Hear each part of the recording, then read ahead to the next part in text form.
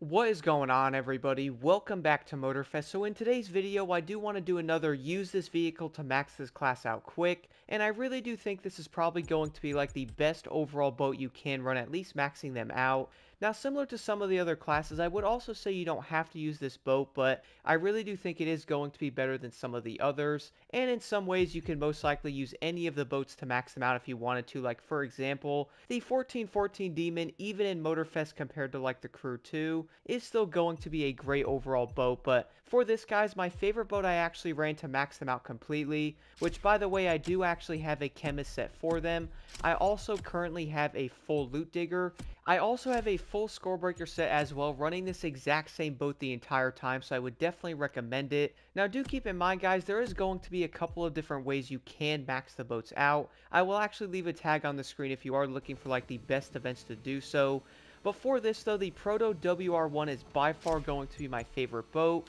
at least when it does come to maxing out the entire class if you are going after like a loot digger or maybe even like a nitro chemist, I would definitely recommend the WR1 guys. This boat is going to be a great all-arounder. Is it going to be the best power boat in Motorfest? Well, I can't really answer that yet because I haven't really tested the other ones out. But I really have to admit, guys, the WR1 is going to be a great boat, at least if you are maxing out these classes and going after the parts that you actually want for like summits, but also the skills that are most likely going to show up in those summits for that matter, but a few things I did like about the WR1 is probably going to come down to the fact that this boat does handle pretty dang well, and I would say it's going to have a nice piece of agility to it compared to something like a 1414 Demon, which would also make a lot of sense considering this boat is a lot smaller, and it's also going to be designed completely differently than those boats as well. I actually have never seen a boat like this in person, so I wouldn't actually know how they do drive, and I guess you could say even race because obviously it's like a race boat.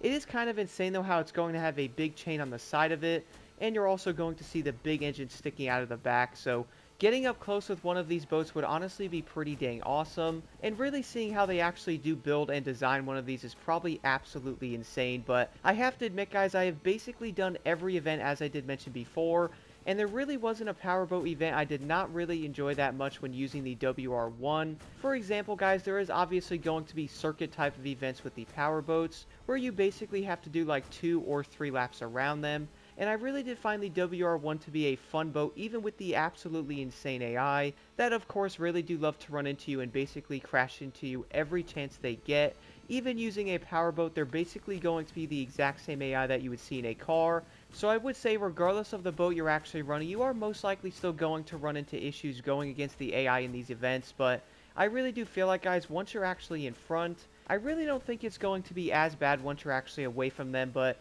even to that point, though, on some of the events, that's going to be a bit of a challenge, and you are most likely going to have to battle them to at least get in front of them, and then, of course, you should be good to go if you're actually in front of all of them. But I did notice, though, guys, on the yacht surfing event, if you happen to pause the game and basically go back to it and then unpause it, I did notice your boat basically goes into the water like a torpedo. And that is most likely going to come down to the actual waves and, like, the big, like, storm that is going on. And I guess you could also say, like, the crazy wind going on in that said event. But I would also recommend being careful in some of the other events if you happen to pause it just in case that may end up happening once again in some of the other ones. But the WR1 really is going to be a great all-around boat. I really did run this thing for hours on end going after all of the part sets I actually have, and I have to admit, this boat really is going to be one of the funnest boats to actually run. Is it going to be the best boat? I will definitely have to test out some of the others to really see how the Proto WR1 actually stacks against them, but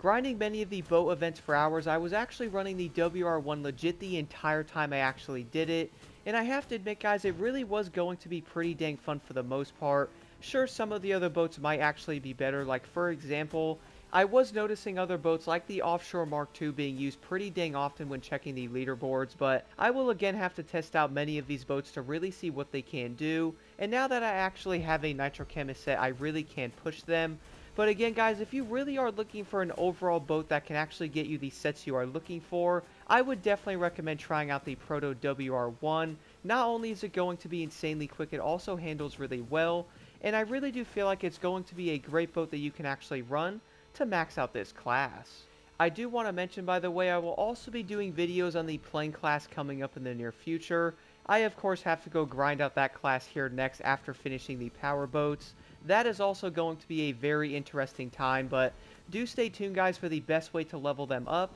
and also my favorite all-around plane to get them maxed out as quickly as possible.